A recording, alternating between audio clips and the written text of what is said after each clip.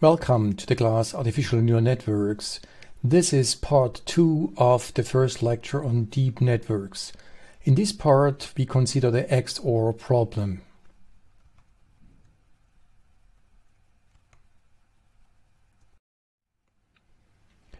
The XOR is a famous example. The XOR problem is defined in two dimensions. I have two positive examples.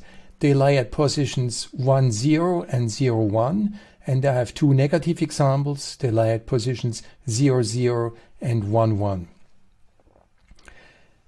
The name XOR comes from the corresponding logical operations, XOR for exclusive OR. Now, most databases have many more points than just four, but the configuration of an XOR-like problem is quite common. So I could have two clouds of data points lying here and there, two further clouds of data points lying at the opposite corners. And so we have many data points, but the structure of the problem is exactly that of an XOR problem. So how can we use a neural network to solve the XOR problem? Solving meaning that all the positive examples give an output 1, all the negative examples give an output 0.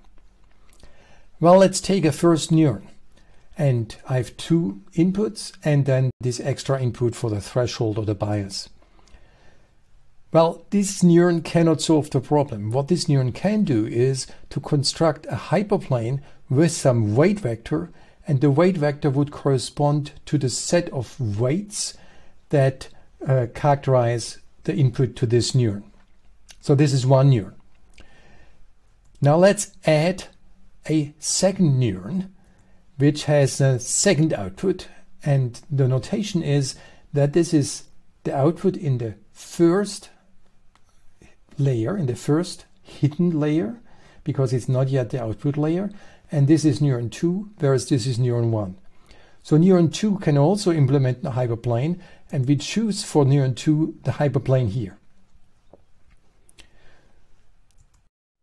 Now let's consider these two neurons as inputs to a further neuron.